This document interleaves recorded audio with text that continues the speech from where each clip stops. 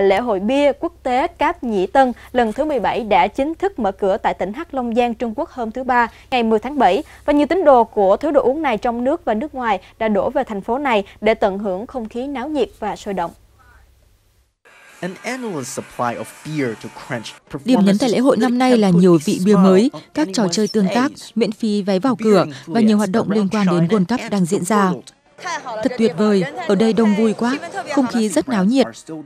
Ngoài lượng bia như vô tận, lễ hội còn cung cấp nhiều loại đồ ăn ngon miệng khác và nhiều màn biểu diễn vui nhộn.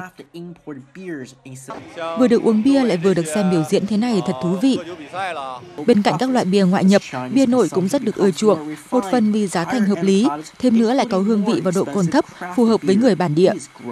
Người tiêu dùng ngày nay biết tính toán hơn rất nhiều, chất lượng chính là yếu tố tiên quyết để thắng cuộc đua này.